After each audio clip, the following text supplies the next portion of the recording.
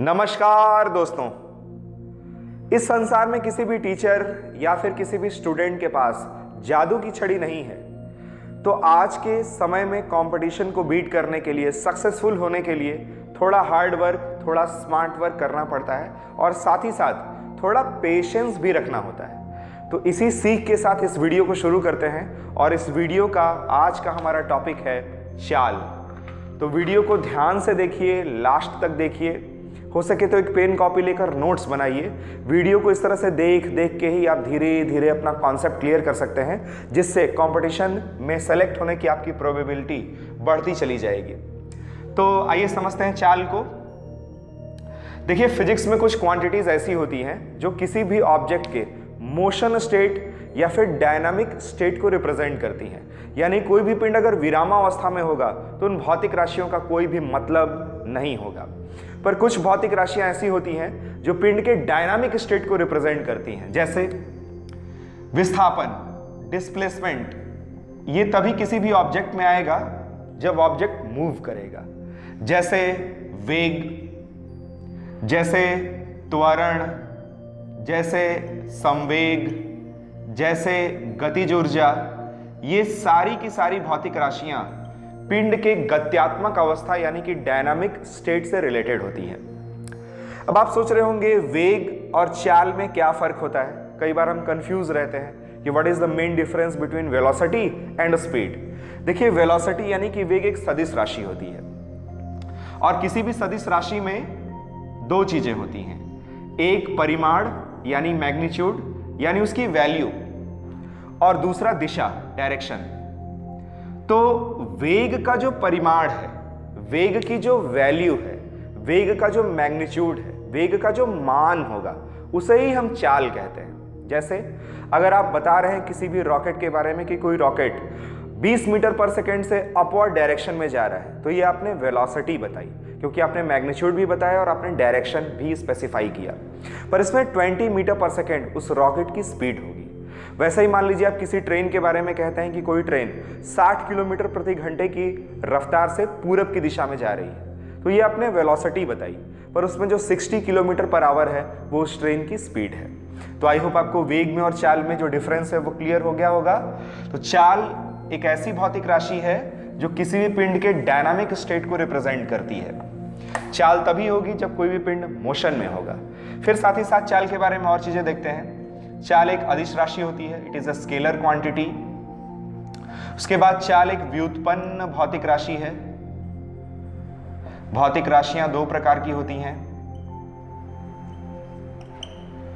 मूल भौतिक राशि फंडामेंटल फ़िज़िकल क्वांटिटी और डेराइव्ड फ़िज़िकल क्वांटिटी तो चाल फंडामेंटल फ़िज़िकल क्वांटिटी नहीं है it is a derived physical quantity फिर देखिए चाल, आपके एसएससी रेलवे और स्टेट लेवल के जो कॉम्पिटिटिव एग्ज़ाम्स होते हैं, उसके लिए खासा इंपॉर्टेंट है।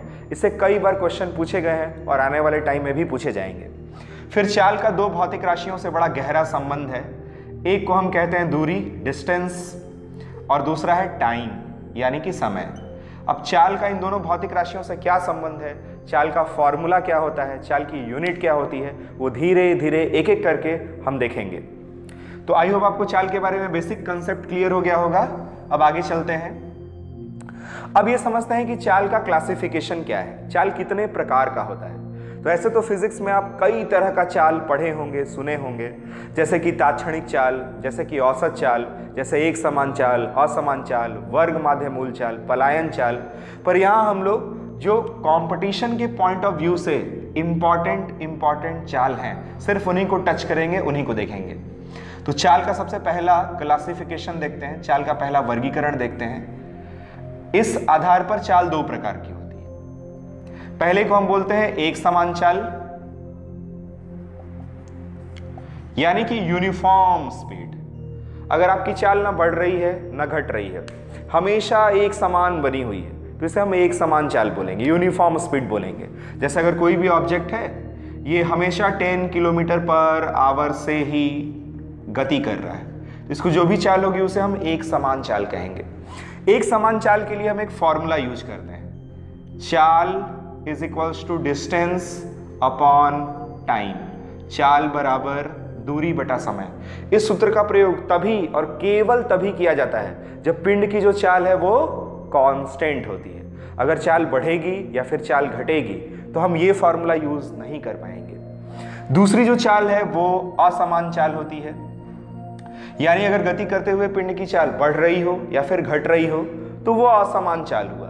असमान चाल कैलकुलेट करने के लिए हम गति के समीकरणों का प्रयोग करते हैं। V is equals to u plus a t v square is equals to u square plus two a s और s is equals to u t plus half a t square इस फॉर्मूले में a एक्सेलरेशन है। Accelerated motion जब भी होता है तो चाल बढ़ती है। और जब हम ब्रेक वगैरह मारते हैं और पिंड में मंदन उत्पन्न होता है तो चाल लगातार कम होती है। इस फॉर्मूले से आप ये वाला फॉर्मूला प्राप्त कर सकते हैं। अगर मान लीजिए कोई भी पिंड जिस पर एक्सेलरेशन की वैल्यू ज़ीरो हो जाए तो अगर इस फॉर्मूले में आप एक्सेलरेशन को ज़ीरो कर देंगे तो हमें मिलेगा s is equals to u t इस फॉर्मूले में वैसे तो एस डिस्प्लेसमेंट यानी कि विस्थापन होता है, पर अगर पिंड की गति सरल रेखा में हो रही हो और पिंड रुकने के बाद वापस ना आए तो दूरी और विस्थापन दोनों बराबर होंगे। तो अगर सरल रेखीय गति है और पिंड रुकने के बाद वापस नहीं आता तो हम इस एस के स्थान पर दूरी लिख सकते हैं। इस फॉर्मूले में यू ऐसे तो प्रारंभिक वेग होता है पर अगर एक्सेलरेशन की वैल्यू ज़ीरो होगी तो प्रारंभिक वेग, बीच का वेग, अंतिम वेग सब एक समान होगा। तो आप इसकी जगह वेग का परिमाण यानी चाल लिख सकते हैं और टी है समय। तो देखिए, यहाँ से आपको ये फॉर्मूला मिल जाएगा, चाल बराबर दूरी बटा समय। तो ये जो फॉर्मूला है, वो बेसिकली इसी से डिडक्ट होता है। इसी फॉर्मूले में एक स्पेशल केस में जब एक्सेलरेशन की वैल्यू ज़ीरो होगी, यानी जो ऑब्जेक्ट का मोशन है, वो यूनिफॉर्म होगा। तो हम चाल बराबर दूरी बटा समय यूज़ करेंगे। फिर चाल का अगला वर्गीकरण देखते हैं, अगला क्लासिफिकेशन देखते हैं। चाल इस क्लासिफिकेशन में भी दो तरह की होती है। एक को हम बोलते हैं ताक्षणिक चाल, यानी इंस्टेंटेनियस स्पीड अब ये इंस्टेंटेनियस स्पीड क्या चीज़ है? किसी भी ऑब्जेक्ट को हम जिस पर्टिकुलर मूवमेंट पर देखते हैं उस पर्टिकुलर मूवमेंट पर उसकी जो भी चाल होगी, वो उसकी ताक्षणिक चाल कहलाएगी। हो सकता है आगे जाने पर उसकी चाल बढ़ जाए, हो सकता है आगे जाने पर उसकी चाल घट जाए, पर हमने जिस इंस्टेंट पर उसको ऑब्ज़र्व किया, उस पर्टिकुलर मूवमेंट पर, उस पर्टिकुलर क्षण पर उसकी जो भी चाल होगी, वो ताक्षणिक चाल होगी। आपके बाइक में या कार में जो स्पीडोमीटर लगा होता है वो उस वैकिल की ताक्षणिक चाल को ही बताता है। जैसे ही आप एक्सेलरेटर लेते हैं तो आपका जो स्पीडोमीटर का कांटा है, वो ऊपर जाता है। वो ये बताता है कि आपकी चाल बढ़ रही है। जब आप ब्रेक मारते हैं तो कांटा पीछे आता है। वो ये बताता है कि आपकी चाल घट रही है। तो वो उस पर्टिकुलर इंस्टेंट पर चाल बताता है या ताक्षणिक चाल को मेजर करता है। दूसरा जो चाल है, इसको हम बोलते हैं औसत चाल। यानी कि एवरेज स्पीड। एवरेज स्पीड का क्या मतलब होता है? आप मान लीजिए कोई जर्नी कर रहे हैं, उसमें आप पॉइंट ए से पॉइंट बी तक जाने वाले हैं। पॉइंट ए से बी तक जाने में आप बीच की कुछ जर्नी को किसी अलग स्पीड से ट्रेवल करते हैं, फिर बीच की किसी जर्नी को किसी अलग स्पीड से ट्रेवल करते हैं और लास्ट की जर्नी को किसी अलग स्पीड से ट्रेवल करते हैं। और बीच में मान लीजिए आप कहीं पे रुक कर चाय पीते हैं, पाँच मिनट, दस मिनट रेस्ट लेते हैं। तो औसत चाल किस तरह से डिफाइन की जाती है? औसत चाल को हम वी बार से रिप्रेजेंट करते हैं। औसत चाल होती है कुल चली गई दूरी। आपने जितना भी डिस्टेंस ट्रेवल किया डिवाइडेड बाय टोटल टाइम यानी कुल समय।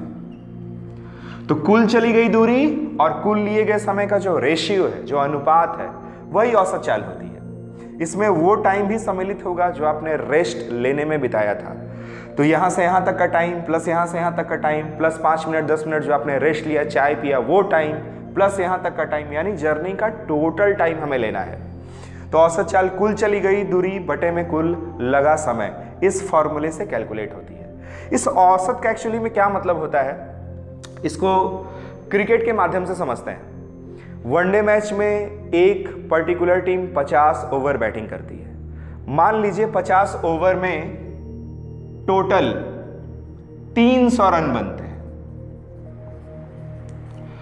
अब अगर किसी ने मैच नहीं देखा है तो हम उसे इस तरह से समझा सकते हैं कि आप ऐसे मान लो 300 रन यानी total run divided by total over छ रन प्रति ओवर के हिसाब से बैटिंग हुई है।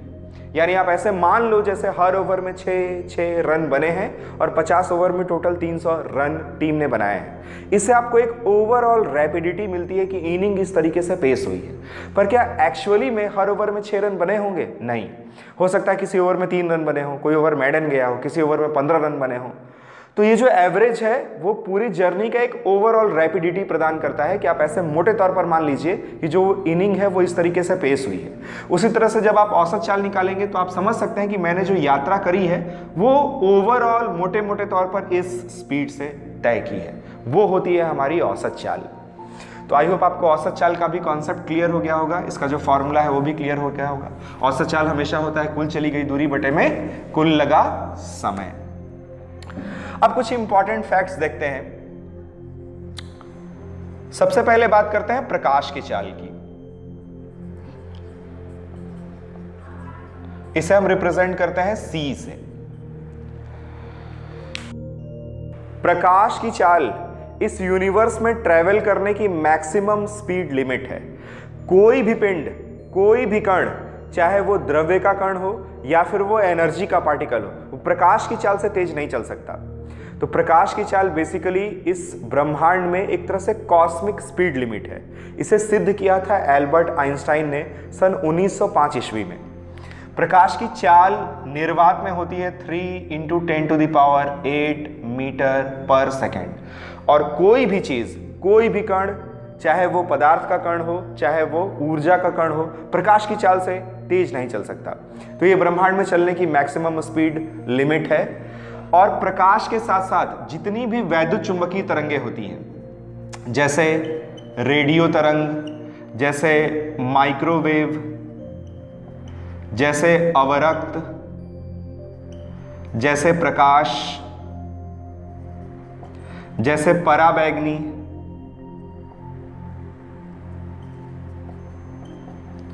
जैसे एक्स किरणें और गामा किरणें। इन सभी इलेक्ट्रोमैग्नेटिक वेव्स की चाल भी प्रकाश की ही चाल के बराबर होती है। तो कभी ऐसा प्रश्न भी पूछा जा सकता है कि रेडियो तरंग और प्रकाश तरंग में किसकी चाल ज़्यादा होती है, या रेडियो तरंग और पराबैग्नि तरंग में किसकी चाल ज़्यादा होती है? तो सभी की चालें एक बराबर होती हैं और सब की सब प्रकाश की चाल यानी three into ten to the power eight metre पर सेकेंड से ही चलती हैं। फिर प्रकाश की चाल पर माध्यम का प्रभाव पड़ता है। जैसे जैसे माध्यम सघन होता जाता है, वैसे वैसे प्रकाश की चाल कम होती चली जाती है। निर्वात या फिर वायु में प्रकाश की चाल सबसे अधिक होगी। उसके बाद अगर वो पानी में प्रवेश करेगा तो चाल थोड़ी सी कम होगी। फिर अगर वो कांच में प्रवेश करेगा तो चाल थोड़ी सी और कम होगी। और अगर वो हीरे में प्रवेश करेगा तो उसकी चाल और कम होगी। इन सभी फैक्ट्स को हम लाइट यूनिट में डिटेल में देखेंगे। यहाँ फिर चाल की सिर्फ़ एक ओवरव्यू हम ले रहे हैं। तो चाल के बारे में जो बेसिक बेसिक चीज़ें हैं, जो इंपॉर्टेंट फैक्ट्स है, केवल उन्हीं को देखा जाएगा। तो प्रकाश की चाल क्लियर हो गई आपको? उसके बाद अब बात करते हैं ध्वनि की चाल की।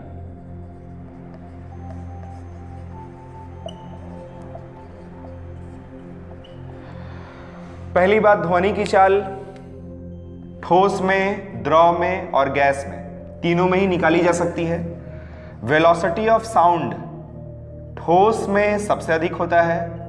उसके बाद ध्वनि की चाल द्रव में अधिक होती है और उसके बाद गैस में होती है। यानी ठोस द्रव गैस में अगर हम ध्वनि की चाल को आपस में कंपेयर करें तो ठोस में चाल सबसे ज़्यादा होगी, उसके बाद द्रव में और उसके बाद गैस में। और ठोस में भी सबसे ज़्यादा चाल ध्वनि की होती है इस्पात में।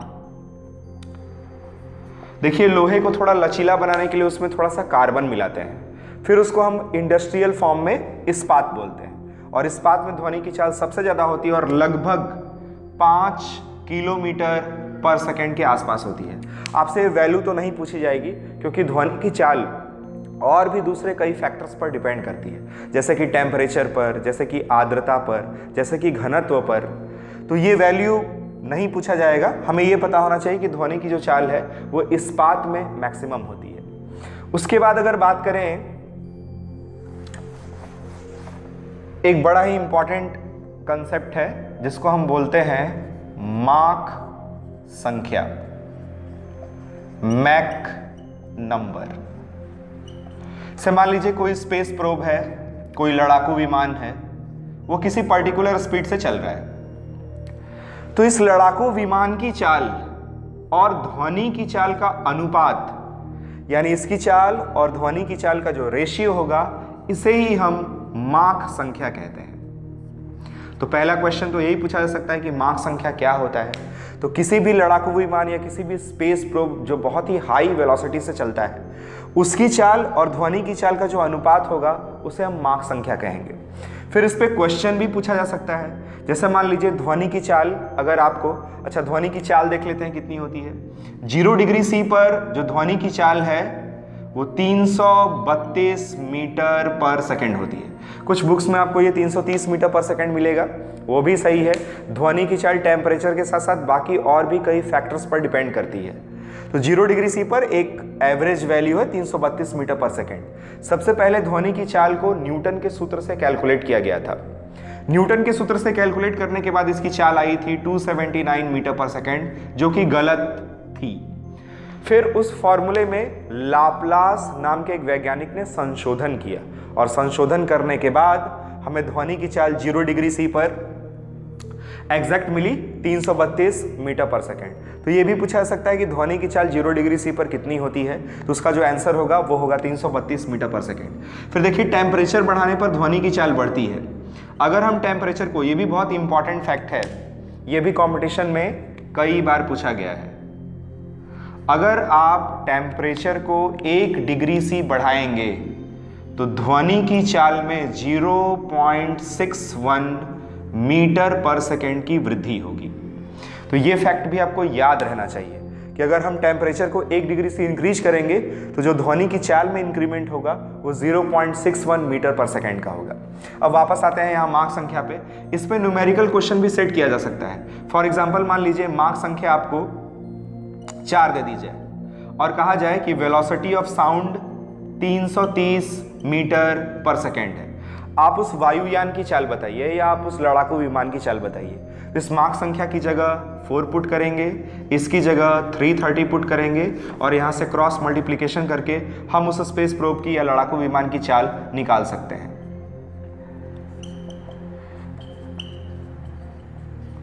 तो इस पर क्वेश्चन भी बन सकता है इंपॉर्टेंट कॉन्सेप्ट है। फिर देखिए, ये जो फॉर्मूला पढ़ा अभी हम लोगों ने, मार्क संख्या इज़ इक्वल्स टू इस वायुयान की चाल, बटे में ध्वनि की चाल। सोचिए जरा, अगर मार्क संख्या की वैल्यू वन होगी तो क्रॉस मल्टीप्लीकेशन करने पर हमें इसकी स्पीड ध्वनि की चाल के बराबर आएगी। तो अगर ऐसा होता है तो हम उसे ध्वनिक स्पीड बोलते हैं। अगर मार्क संख्या एक से ज़्यादा होता है और पाँच से कम होता है तो हम बोलते हैं कि यह पराध्वनिक चाल है, सुपरसोनिक स्पीड है। और अगर मार्क संख्या पाँच से भी ज़्यादा होती है तो हम बोलते हैं कि यह हाइपरसोनिक स्पीड है। तो यहाँ माक संख्या, अगर वन होगा तो सोनिक स्पीड, अगर ग्रेटर देन वन होगा लेकिन पाँच से कम होगा, Mach number greater than one but less than five. तो जो स्पीड होगी उसे हम बोलेंगे कि ये सुपर सोनिक स्पीड है, और अगर ये Mach number greater than five है तो हम बोलेंगे कि ये हाइपरसोनिक स्पीड है। तो ये फैक्ट भी आपसे पूछा जा सकता है। और आइए अब बात करते हैं पलायन चाल की। चाल की बात हो और पलायन चाल की बात ना हो, ये थोड़ा ठीक नहीं होगा। तो अगला कंसेप्ट देखते हैं पलायन चाल का। मान लीजिए ये पृथ्वी की सतह है। पृथ्वी की सतह से अगर किसी भी ऑब्जेक्ट को हम इतनी तेज़ी से फेंकें कि वो सीधे पृथ्वी के गुरुत्वीय क्षेत्र से ही बाहर चला जाए, यानी इन्फाइनाइट पे चला जाए। तो स्वाभाविक सी बात है, अब वो वापस लौट कर नहीं आएगा। तो जिस भी मिनिमम स्पीड से फेंकने पर वो ऑब्जेक्ट इन्फाइनाइट पर चला जाता है, और फिर कभी भी वापस लौट कर नहीं आता, उसे ही हम पलायन चाल कहते हैं। पृथ्वी सतह पर जो पलायन चाल की वैल्यू है, वो 11.2 ध्यान दीजिएगा, किलोमीटर पर सेकेंड होती है। तो पृथ्वी की सतह पर किसी भी ऑब्जेक्ट को फेंके जाने की वह मिनिमम स्पीड जिससे वो इन्फाइनाइट पे चला जाता है और वापस लौट कर नहीं आता, पलायन चाल कहलाता है और उसकी जो वैल्यू है, वो अर्थ सरफेस पर 11.2 किलोमीटर पर सेकेंड होती है। फिर किसी भी ऑब्जेक्ट की जो पलायन चाल है, वो फेंके जाने वाले डायरेक्शन पर डिपेंड नहीं करती। यानी आप किसी भी ऑब्जेक्ट को किसी भी डायरेक्शन में फेंकिए, बस ओपन स्पेस में उसे फेंकना होगा और अगर आप उसे 11.2 किलोमीटर पर सेकेंड से फेंकते हैं तो पलायन कर जाएगा। फिर पलायन चाल का मान, जिस ऑब्जेक्ट को हम फेंकते हैं, उसके द्रव्यमान पर निर्भर नहीं करता। यानी हम पाँच किलोग्राम का कोई ऑब्जेक्ट फेंकें या पचास किलोग्राम का, उसके लिए पलायन चाल सेम होगी। लेकिन पलायन चाल उस ग्रह के या फिर उपग्रह के मास पर निर्भर करती है, जहाँ पर खड़े होकर आप उस ऑब्जेक्ट को फेंक रहे हैं। तो सिंस यहाँ इसका डायरेक्शन मैटर नहीं करता, इसलिए मैंने पलायन वेग के स्थान पर पलायन चाल लिखा है। और ये अलग अलग ग्रहों के लिए अलग अलग होता है। जैसे कोई बड़ा ग्रह है, जिसमें ग्रेविटेशनल पावर ज़्यादा है तो स्वाभाविक सी बात है, उसकी सतह से किसी भी पिंड को इन्फानाइट तक प्रोजेक्ट करने के लिए हमें ज़्यादा चाल देनी होगी। और चंद्रमा जैसे छोटे उपग्रह पर, जहाँ की ग्रेविटेशनल पावर कम है, आप अपेक्षाकृत कम चाल से ही किसी भी पिंड को फेंक देंगे तो वो इन्फानाइट पर चला जाएगा। तो पलायन चाल की वैल्यू चंद्रमा के लिए होती है 2.4 किलोमीटर पर सेकेंड तो ये दोनों डेटा हमें याद रहने चाहिए। और आइए अब देखते हैं चाल को मेज़र करने के कुछ खास खास मेजरिंग इंस्ट्रूमेंट्स को। वैसे मैंने इंस्ट्रूमेंट्स पे एक अलग से वीडियो बना रखी है। आपको वो वीडियो भी देखनी चाहिए। पर उस वीडियो में जिन इंस्ट्रूमेंट्स का ज़िक्र मैंने नहीं किया है, उन्हें यहाँ पे देखते हैं। उनमें सबसे पहला यंत्र है राडार पहली बात तो इसका फुल फॉर्म ही इंपॉर्टेंट है और फुल फॉर्म हमें पता होना चाहिए। इसका जो फुल फॉर्म होता है, वो है रेडियो डिटेक्शन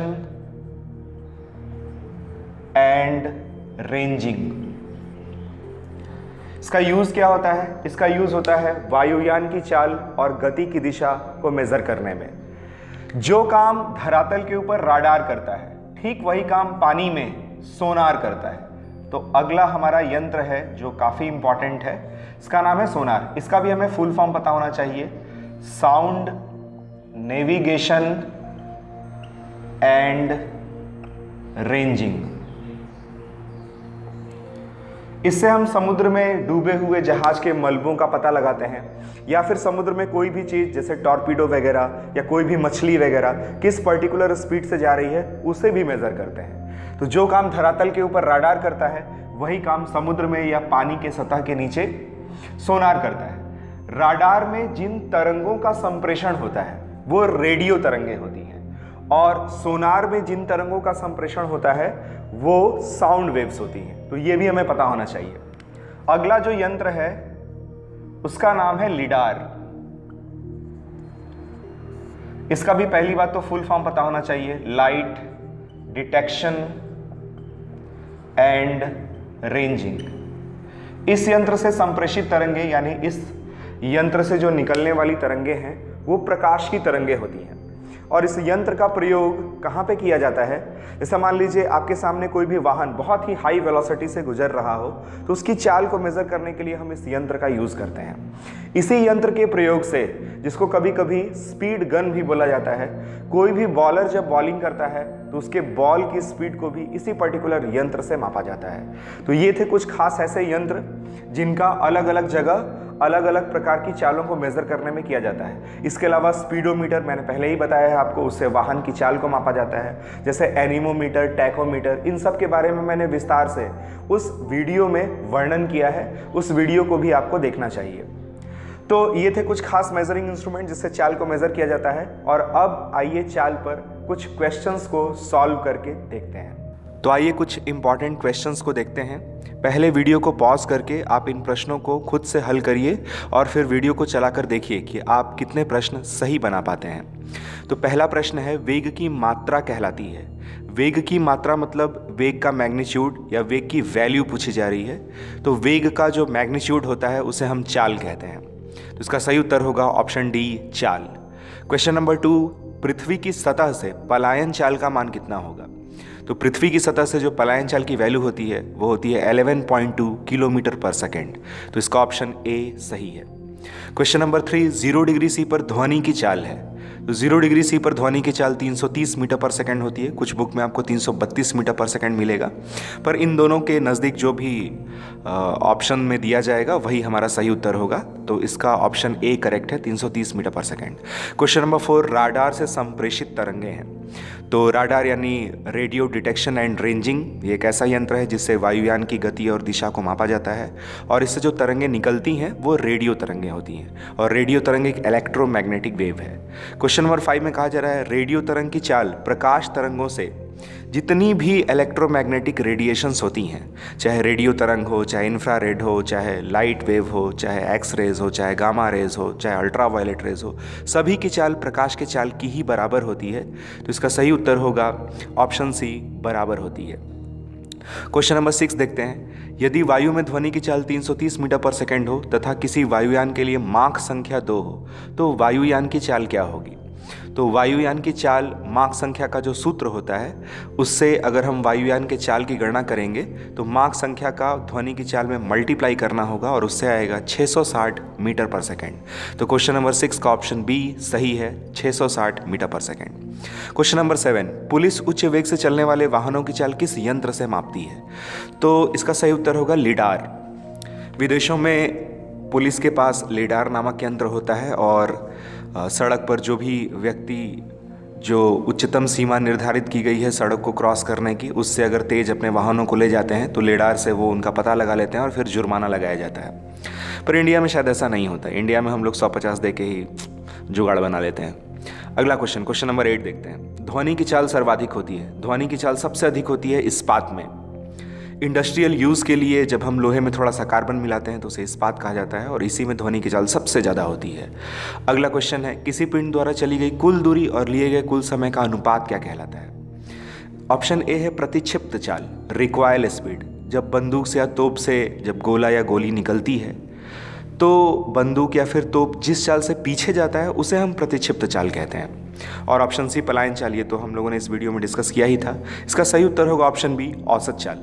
किसी भी पिंड द्वारा चली गई कुल दूरी और लिए गए कुल समय का जो रेशियो है, वो औसत चाल कहलाता है। तो इस वीडियो में इतना ही। मिलेंगे अगली वीडियो में किसी नए टॉपिक के साथ। कमेंट सेक्शन में मुझे बताइए कि इस वीडियो में जो भी डिस्कशन हुआ, वो आपको समझ में आया या नहीं? या फिर और आप किस पर्टिकुलर टॉपिक पर मुझसे वीडियो चाहते हैं? तो कमेंट सेक्शन में मुझे लिख के बताइए। इस वीडियो को अपने जैसे ही प्रिपरेशन करने वाले दूसरे स्टूडेंट्स के साथ में शेयर कीजिए। बहुत बहुत धन्यवाद and wish you all the best